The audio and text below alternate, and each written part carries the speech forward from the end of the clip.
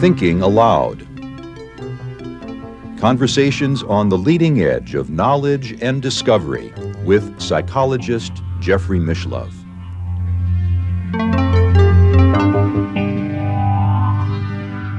Hello and welcome.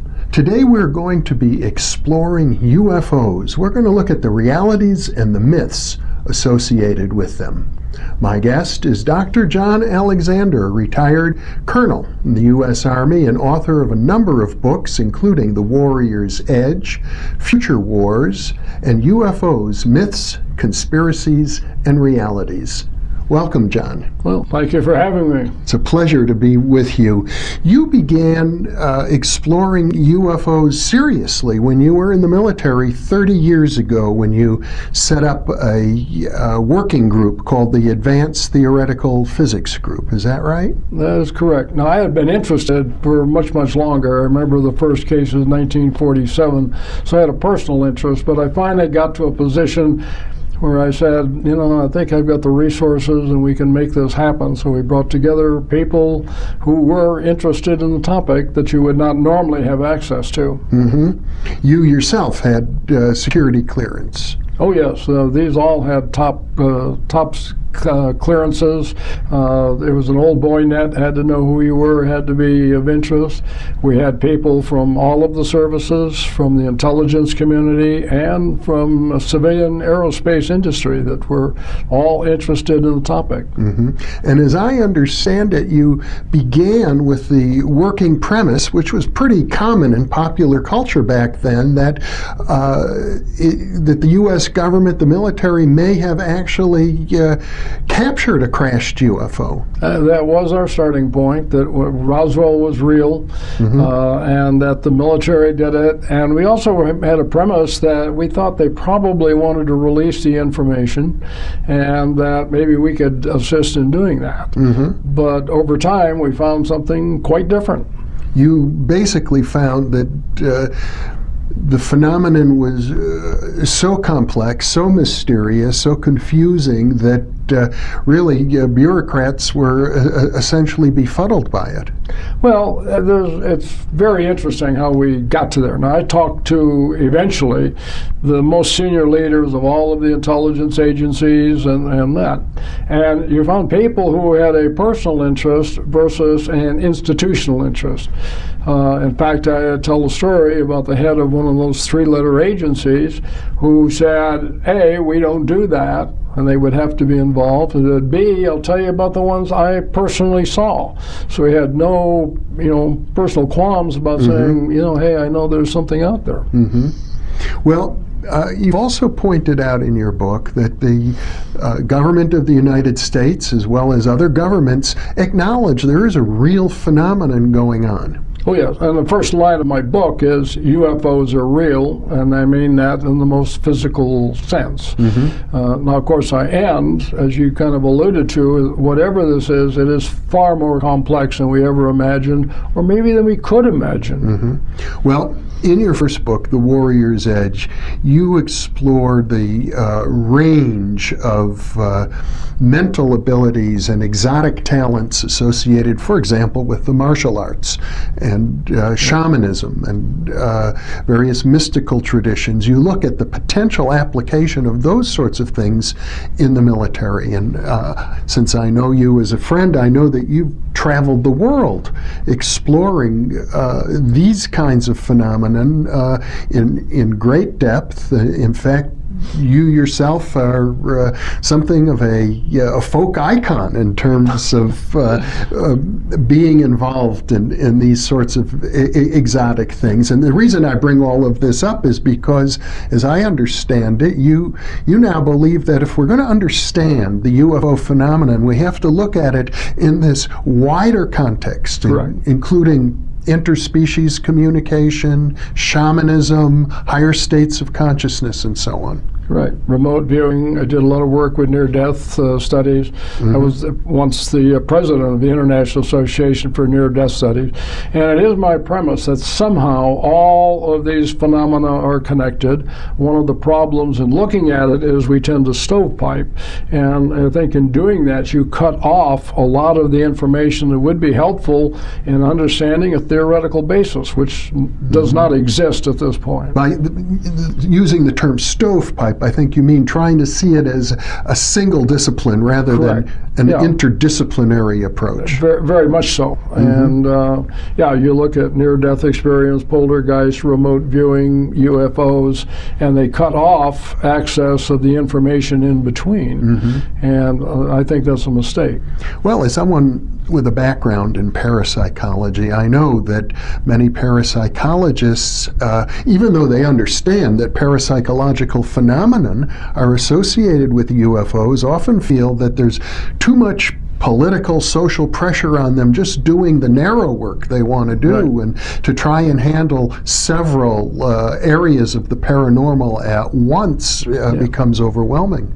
That's why I get back to, in my view, that what we're looking at is something that is terribly complex, mm-hmm. and there is not a single simple answer for any of these or you know looking at them in isolation. Mm-hmm. I really think, and I've asked for a step back phenomenon where we look at the observations and then do a micro pattern analysis on mm-hmm. that and yeah. say, okay, what are the patterns that come up? And I do believe that consciousness is going to be a key piece of that. Mm-hmm. Well, as a military man, I'm sure you paid particular attention to a number of cases. I should think at least a half dozen very well established cases where it seems as if UFO activities uh, have uh, been associated with and sometimes interfered with uh, nuclear missile systems. That is correct. There's a very famous case at Malmstrom Air Force Base uh, in which we had two uh, squadrons out there that had a substantial number of missiles come down simultaneously, something that never happened. When you say come down, you mean malfunction? Yeah, well, they came offline. They offline. could not have been launched mm-hmm. at, at, that point. Yeah. Uh, one of the wings was out 10 for 10, another one was six or seven missiles down simultaneously. Uh, there's a, a uh, logistical context called uh, mean time between failure. I mean, you know how often things are going to fail. You would expect um, maybe two of these a year, mm-hmm. and yet at this time you had 16 or 17 down simultaneously. And this was in what we call the nuclear triad. These are strategic systems. Mm-hmm. This is, you know, this was in the bad old days going to go to war with the Soviet Union. And you needed to know, you know, if you push the button, that everything is going to work. Mm-hmm. And it would not have at that time. And were UFO sightings associated with this? Uh, there event? were. Uh, there was in, in one of the silos, uh, there's a guy by the name Bob, Bob Salas who was down below. Now, the problem here is you had the launch control officers who were down below. You had on top of the surface, uh, you had security police, and they were the ones who were making the observation and calling back and forth. Mm-hmm uh, Salas had acknowledged that, but then as the missiles came offline, he said did not have time because they were in crisis mode down below. Mm-hmm. But there definitely was a relationship between UFOs being seen and the missiles coming offline. And I understand similar events were reported in the Soviet Union. Oh, there's a huge event that uh, happened in the Soviet Union. Uh, George Knapp is the key guy who brought back the information, but this was a little bit different uh, in that they had a very large UFO hovering over the base for hours, seen by hundreds of people instead of coming offline, they started spinning up, meaning they were about to launch, which scared the hell out of the launch control officers because they couldn't control it. Mm-hmm. And their thoughts were, my God, we're about to start World War III, and it's beyond our control. As it got further along, and suddenly it shut off as well, but not because of the actions of the uh, missile control officers. Mm-hmm. Well, these examples would lend one to think that we're dealing with aliens from another planet who are interfering with our nuclear whistle, missiles in, in, order to warn us about a potential mm-hmm. catastrophe. Well, there are books. Uh, uh, Bob Hastings has written a whole book on nukes mm-hmm. and you know the nuclear cases and UFOs. Yeah. The problem is uh, when you look at these, uh, as we do now in isolation, we, we mm-hmm. put them together and say, yeah. "Wow, look at all of these things that's happened." When I separate that over a world and more than half a century, really very, very isolated events. Mm-hmm. Not that they were ignored. I mean, people did study them uh, you know, to an extreme degree. The problem was it came up with a have no idea what this is. Mm-hmm. Then you end up with a case of okay, how uh, resource management how much uh, time material money are you going to put into researching something you're probably not going to get an answer to mm-hmm. so what you're saying is in spite of cases like that that, that would seem to have uh, enormous implications for national security. At some point, the government to your understanding, actually officially sort of threw up its hands and said there's no reason to study this any further? Oh, we do many of those things. It's called the Too Tough to Handle bin. Mm-hmm. And there are a host of topics uh, that are in there. And again, it's a resource management. How, how much time, money, effort are you going to put in to things that are very, very rare? The case with Malmstrom, what they said finally, I mean, they looked at it extensively and looked for electromagnetic pulse a host of, you know, potential uh, causes. Malmstrom being the U.S. That, case. That, that's the missile case that yeah. I, I, mentioned earlier. And they said, you know, have no idea what did this kind of. If if it happens again, we'll get really serious. Mm-hmm. But it, again, these are isolated incidences. Right. Now, I know you um, are associated with Jacques Vallée, the French UFO researcher. Well, right. lived in the United States now for uh, many decades. Uh, someone I've interviewed as well. He has a, a unique hypothesis involving UFOs, and one uh, that I think you're quite sympathetic to. Yeah, and he did the foreword uh, to my book, mm-hmm. and yeah, our philosophical position on it is very, very similar. And I think it comes down the same way he did, you know, Passport to Magonia. And it's, it's uh, this is terribly complex and it doesn't fit any simple solutions. Mm-hmm. Well, as I understand it, Jacques Vallée goes a bit further. Um, do you agree with him when he suggests it's a control system of some type that that somebody yeah. is somewhere some conscious entity somewhere is pulling levers attempting yeah. to manipulate the human race in some way through these mysterious phenomena probably at a subconscious level well uh, I'll go back this is where I think we need to look in the broader context mm-hmm. because this occurs in all of these phenomena as you know in the book, I pointed out something what I call the precognitive sentient phenomena. Yeah. And this is based on some things we did in, quote, Skinwalker Ranch, if you will, were very, very strange incidents happen. Mm-hmm. And the trickster is known throughout history.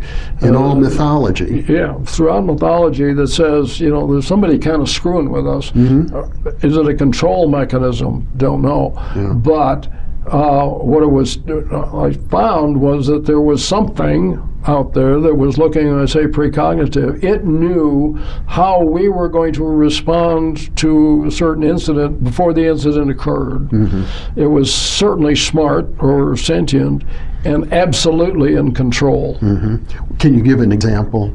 Say from the Skinwalker Ranch study? Oh, Skinwalker Ranch. I mean, there are so many examples there. Uh, uh, you know, the book by Colm Kelleher mm-hmm. and uh, George Knapp on it. Um, uh, Skinwalker Ranch was owned by Robert Bigelow. A number of us were up there, was monitored 24 7. I'll give you one example that just defies total description. We had instrumented the ranch. Mm-hmm. We had cameras up there that were facing in certain uh, directions. The particular incident uh, involved here is I have camera one that happens to be looking at camera two, both looking out. And the wires come down back to the base where everything's being recorded um, at a time that we know Suddenly, uh, these cameras about 20 feet high, something pulled the wire um, out of the camera. There was about half a roll of duct tape around the post uh, holding up. That's totally gone. There's about a three foot chunk of wire that's totally missing. There's PVC down at the bottom that's been pulled loose and missing. And as it turns out, that at the time of the incident, which we know because you had the daytime recording back at the cabin, um, the cattle happened to be milling right around that pole. Uh, the reason that's significant is we know that if anybody got close to the pole, they would be spooked and you know scatter. Yeah. That didn't happen. So you have an a- uh, incident that happened absolutely, you know, in physical reality, uh, should have been captured on camera and wasn't. The cameras, as I recall, were taking slow motion snapshots once every second or so. Uh, second or third. mm-hmm. And and so you have one picture where everything is intact, and the next picture where all the damage has already taken Well, you, place. you don't see the damage from the camera. uh-huh. Uh, but what you do know is that the camera out uh, the outlying camera stopped recording, so you know when that was. But then you go in and you look at the physical damage that was done. Uh, just no plausible explanation. Okay, so that's one example, and uh, it's a There are a host of those, and, and one of the points is, you know, these things would happen. You point the cameras out, and it, whatever it is, control says, "Oh, you like that," mm-hmm. and it would do something just off camera. Yeah. So every time we tried to set up to mm-hmm. understand the phenomena, or you had something presented, and you responded to it.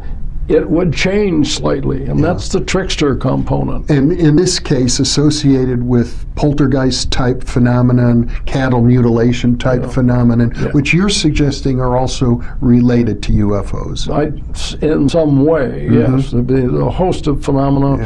And again, the trickster, the control mm-hmm. mechanism, this is where Jacques and I pretty much agree. There is something out there. Yeah. Now we we need to talk about some of the myths, Okay. Uh, and in particular, a very well publicized myth by an associate uh, uh, of yours, uh, Phil Corso, who who wrote a book in which he claims that he was involved in uh, the Roswell incident and uh, alien technology was retrieved, and he was involved in. Uh, disseminating information. This, is sometime later. Yeah. This is, um, see, that was 47. when He's talking about 1960. That they're transferring alien technology to uh, U.S. corporations. Correct.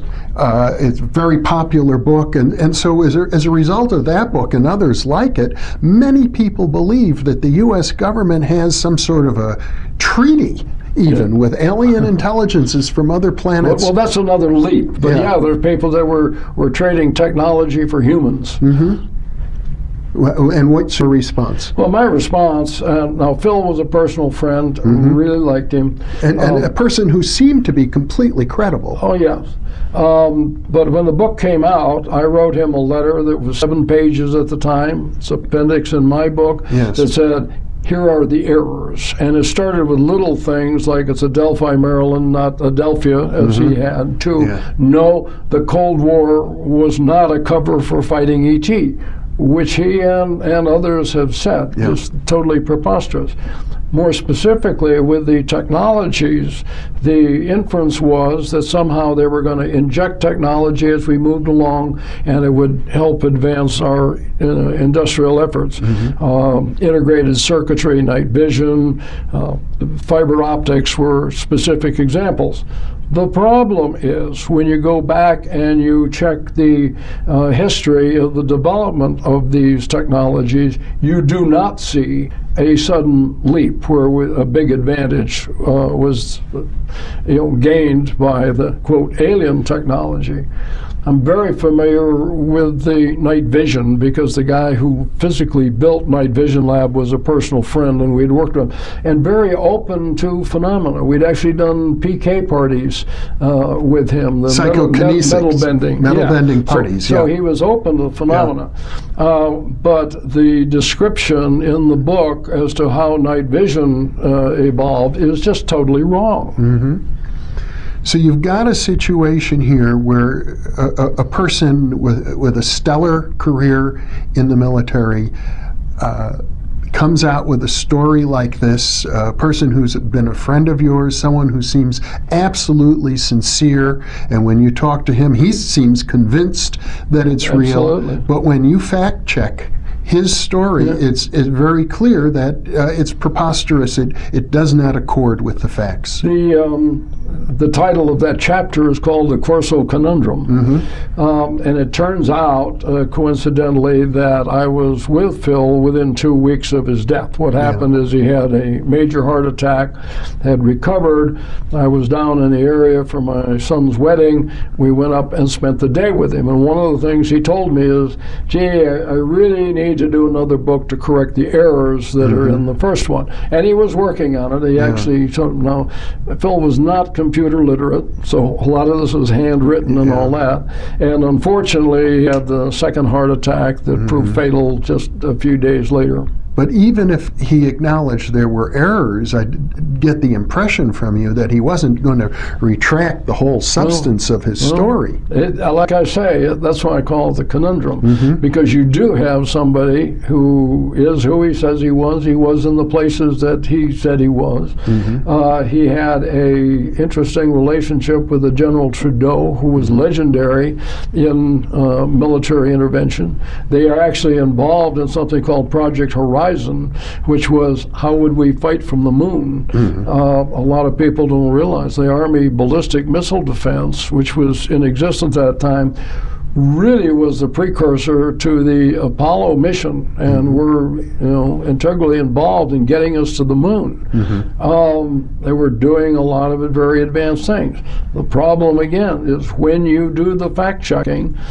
Um, it just does not hold up. Mm-hmm. But now it's fair to say that there's, I guess you could call it a cult or a small percentage of the population, but still thousands of people I, who, who accept these things as literally true. And when they hear you, amongst other people, saying, no, it's not, I've looked into it, it can't be real, they say, well, you're part of the cover up yourself. Well, that's it. In, in my slides, as you know, one of the things I say, if you're going to join, you need three things. Um, one of them, you better have you know some thick skin. You're going to get attacked.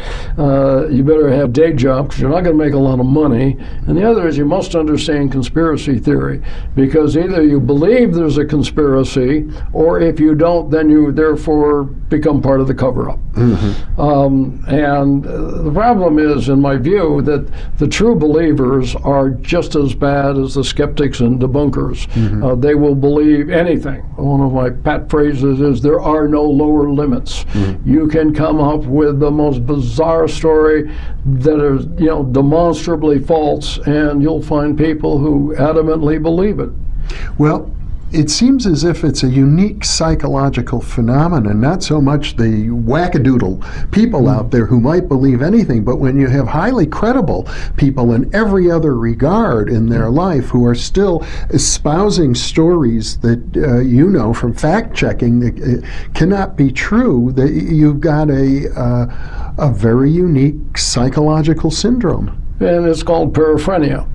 And it uh, has been explored and is included in some DSM, um, and it, it does exactly what you're describing. DSM is the Diagnostic and Statistical Manual of the American Psychiatric Association. And and the point is that uh, they say there are these people who, as, as you've described, are perfectly logical, functional uh, throughout their life, and you have a niche where they're crazy. you know, it's kind of no other way to put it. Well, I suppose that's part of the human condition that we have to I believe so. appreciate. Yes. And uh, just as perhaps UFOs are essentially an expression of the human condition. Quite possibly. One of the things we didn't mention at the beginning is, and, and I address it, what is a UFO? Mm-hmm. Because you do have little balls of light that maneuver around. We've got craft more than a mile across that are hard, seen by many, many people, thousands sensor systems. And everything in between. Mm-hmm. One of the things that bothers me is this extensive variability Yeah. in the kinds of craft that are supposedly being seen. Mm-hmm. They do things you would expect, and you do see them on sensor systems. Conversely, uh, there are things you don't expect. And for instance, hard craft that are there that are people are making observation of, and your sensor systems do not pick them up when they should. Well, you know, of course, that I've written a book uh, in which I personally was involved in some research uh, in, in, which it appeared that a, a, UFO sighting seen by hundreds of people was, was created through some sort of a psychokinetic or telepathic Yeah. process. Well, this is why I get back to, you know, the, the core to this, I believe, is consciousness. And you're familiar with the Philip Group, where they did other kinds of phenomena that were intentionally being brought about, you know, by groups of Yes. people. That's a very interesting uh, story, and it, it may uh, hit at sort of the core of this. The Philip Group was in Toronto many uh, years ago, and they uh, got together and held seances in Correct. style of the 19th century seances. They produced the kind of phenomenon that uh, occurred at that time table levitations and rapping and so on, with a whole story about a ghost named Philip, but it was all made up. It was contrived. the intent was made up. The But phenomenon the the phenomenon is real. Yeah. It's, it's quite unusual, and it certainly suggests the interplay between uh, the human psyche, which is really the last great frontier, and uh, phenomenon of this Well, sort. I, I do mention when you look at UFOs and the, the history, uh, you find early on you- uh, very different descriptions. Yeah. Uh, Jacques Vallée, you mentioned, had one where um, you know, I'm going to cut you off though, John, because we're out of we're out of time now. But I know what you're saying is that we need to look at uh, mythology and stories, the the ethno historical uh, literature in all cultures. John Alexander, thank you so much for being with me. Uh, you're welcome. and thank you for being with us.